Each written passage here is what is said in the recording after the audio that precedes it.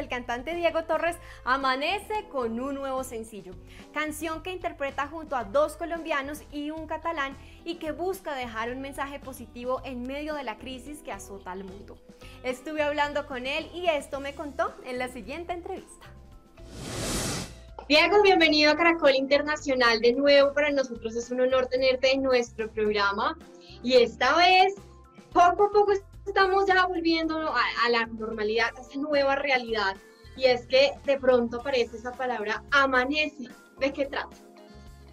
Sí, bueno, un placer saludarte. Me voy a poner así para que, para que quede mejor, me imagino, en tu pantalla. Y un placer eh, hacer contacto a través tuyo con, con mi querida gente de Colombia para presentar Amanece, esta nueva canción, que, en la cual eh, no estoy solo, tengo grandes invitados y una canción muy, muy especial en estos tiempos que vivimos, eh, donde habla ¿no? de ese proceso que todos eh, vamos haciendo dentro ante esto desconocido, que es una pandemia y cómo nos ha cambiado radicalmente nuestras vidas. ¿Cómo fue el proceso precisamente para llevar a cabo esta canción con estos tres artistas, de hecho dos de allí colombianos?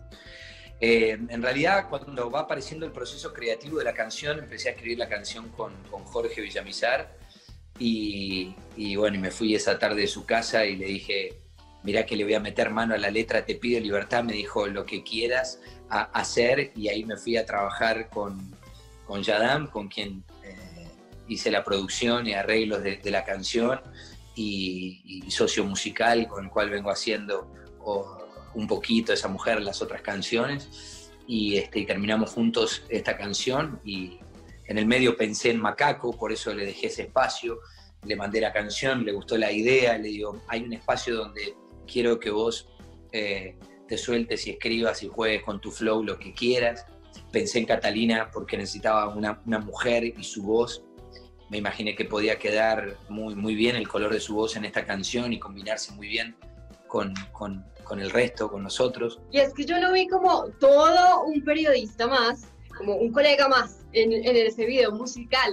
Contémosle a nuestros televidentes cómo fue esta realización precisamente en donde se involucraron y le colocaron un toque de humor para alegrarnos a todos. Invadido en estos tiempos por tantos noticieros, que, que, seguramente te pasará lo mismo, se me ocurrió la idea de por qué no el video podía ser un noticiero, ¿no?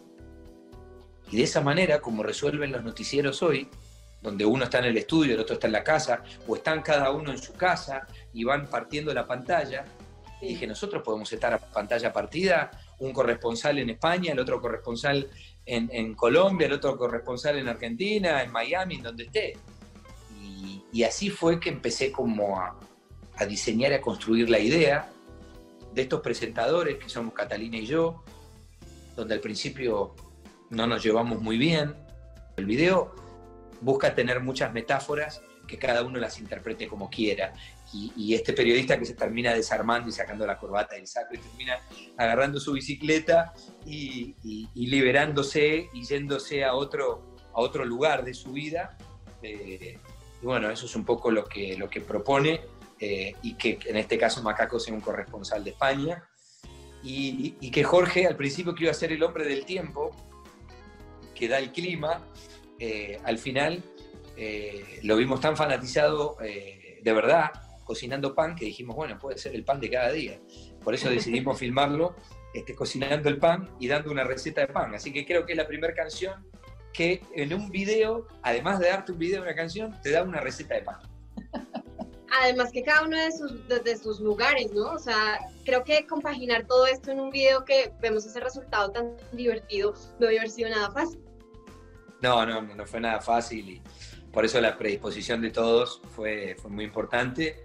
Y después el editor, Pablo, también, eh, a, quien le estuvimos encima muchas horas, con muchos cambios, con muchas idas y vueltas. Bueno, pues Diego, muchísimas gracias por habernos dado un poco de, tiempo y por haber estado nuevamente con nosotros a través de la señal internacional de Caracol Televisión. Y lo esperamos nuevamente muy pronto aquí cuando todo esto ya pase. Gracias, gracias a vos.